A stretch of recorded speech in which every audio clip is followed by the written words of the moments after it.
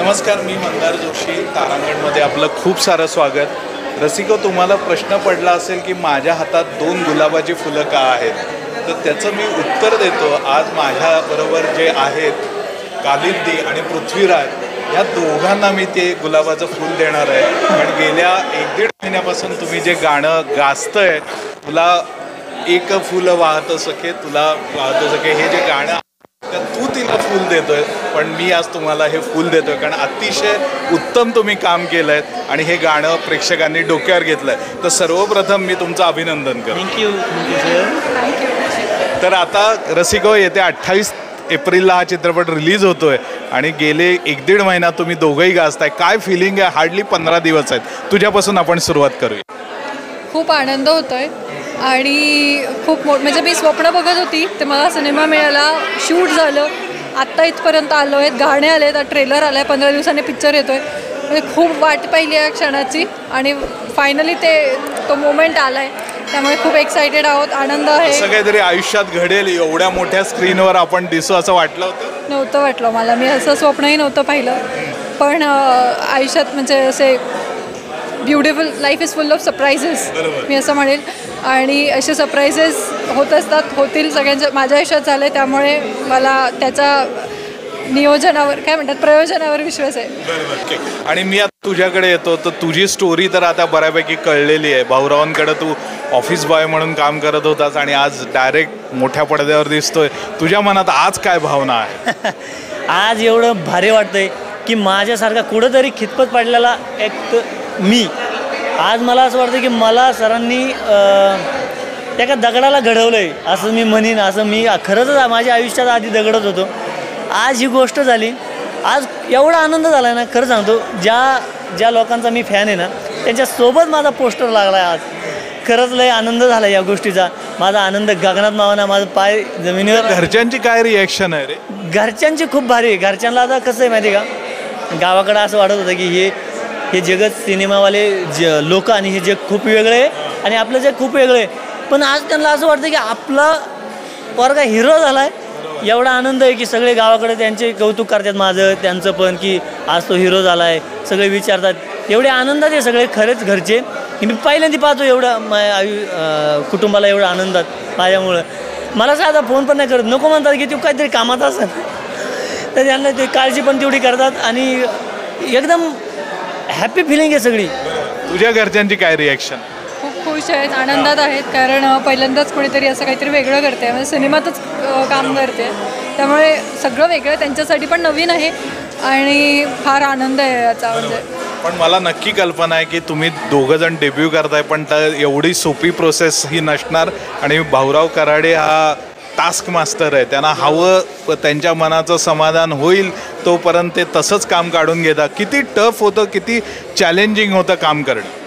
आता स कसं असतं मी ज्यावेळेस सर्रास असं वावरताना तसा होतो म्हणजे उड्या मारत चालणं असं बऱ्याच गोष्टी मी शेती काढल्या पाहिलेल्या असल्यामुळं. पण सिनेमात त्या गोष्टी बऱ्याच गोष्टी अशा वेगळ्या कराव्या लागतात. कधी माझ्याकडून फास्ट व्हायच्या कधी स्लो करावं लागायच्या मला त्या खूप कारण की मी एक तर एवढा एनर्जी असायची मला की हिरो असल्यामुळे मला त्या त्या जोशात मी करून जायचो खूप. बऱ्याच वेळा असं व्हायचं की ते कमी करावं लागायचं. आता ते गोष्ट अशा होत्या की बरेच स्टंट आहेत. जे मला जमत नव्हते. आणि जमत नसलं तरी नाही म्हणत नव्हतो. आणि सर सर शिवर होते की काही सांगितलं रे हा मन नाही म्हणतोय. याला सांगा. स्टंट केलेत? भरपूर आता तुम्ही गाण्यात पाहिलं असन अ, दोन्ही गाण्यात पाहिलेत. घोड्याचं असन ते घोड्याचं भीती एवढी होती की मला ते जमतही नव्हतं. ते शिकलो आता. चिखलात उडी मारायची असं आता चिखलात उडी मारायची खाली काय? माहिती नाही. माहिती नाही. पण मारली. कारण की सरांनी सांगितल्यानंतर ठीक आहे मला जमतंय. ओके मी नाही म्हणत नव्हतो. कारण की मला हिरो असल्यामुळे मला खूप आनंद होता या गोष्टीचा. अशा भर भरपूर गोष्टी आहेत ज्या नवीन होत्या आणि त्या तिच्यासाठी पण खूप नवीन होत्या. कारण की ती तर एकदमच नवीन आहे तिला काही जमत नव्हतं. पण तिने खरं भरपूर कष्ट केले आणि असं वाटत नाही की ती पहिल्यांदा करते. बघ किती कौतुक करतोय. खरंच खूप भारी झाले तुम्हाला तुम्ही गाण्यात बघा असं वाटणार नाही. आणि एक गोष्ट नक्की आहे की तिला भाकरी करायची होती. आणि नंतर असं झालं की नाही तुला करायची. ते मला पण असं लाजल्याने झालं कारण पहिल्यांदा मी भाकरी करतोय. आणि ते सिनेमात दिसणार. आहे ते वेगळंच होतं जरा. आणि खूप भारी झालं. आम्हाला आम्हाला खूप भारी कधी यापूर्वी भाकरी केली नव्हतीस का? नाही. मग जमली का तुला? हो म्हणजे आम्ही तयारी केली त्याची. आम्ही चार पाच दिवस आधी गेलो होतो. तो भाकरी सर्राईतपणे करता येतात मला आता. म्हणजे हिच्या हातची भाकरी खाल्ली शेवटी तू? हो मी अ, खाल्लेली आहे. पण तिने पण माझ्या आजची पहिल्यांदा भाकरी खाल्ली.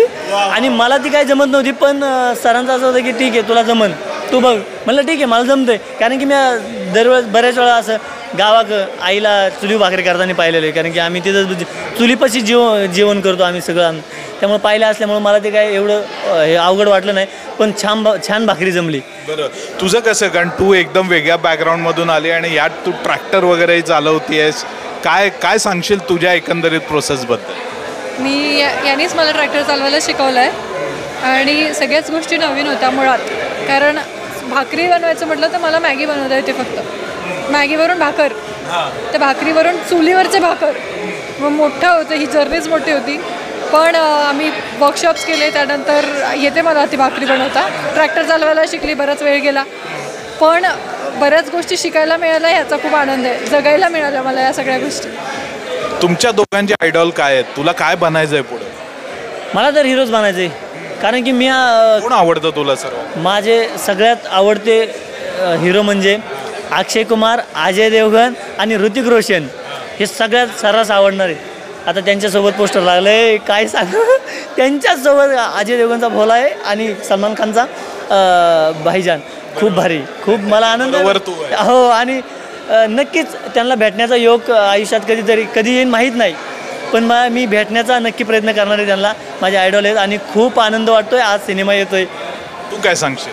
माझी पण लिस्ट. खूप मोठी आहे कारण खूप खूप ॲक्ट्रेसेस आहेत मला आवडतात. मला स्मिता पाटील आवडतात. मला विद्या बालन आवडते. बऱ्याच ॲक्ट्रेसेस आहेत. मी काही नाव घेतले तर ते कमीच पडेल. आणि आता सिनेमाच करायचा आहे अशी इच्छा आहे. बरोबर. पुढचं आता तुमचं अठ्ठावीस एप्रिलपासून तर आयुष्य बदलणार आहे. काय ग- कोणतं स्वप्न आहे तुझ्या डोक्यात? स्वप्न. सध्या तर आम्हाला टी डी एम शिवाय काही दुसरं सुचत नाही आहे ते स्वप्नातही आणि आम्ही जगता नाही म्हणजे सारखं टी डी एमच असतं. सत्यातही आम सत्यातही आमच्या टी डी एमचे खूप छान. मला नक्की कल्पना आहे की तुम्ही दोघं आता ऑन क्लाउड नाईन आहात. कारण एवढी एक्साइटमेंट एवढी एनर्जी तुमच्यात आहे. तर या चित्रपटासाठी आणि तुमच्या पुढच्या प्रवासासाठी तारांगणतर्फे आणि माझ्यातर्फे तुम्हाला खूप साऱ्या शुभेच्छा. Thank you sir thank you so much thank you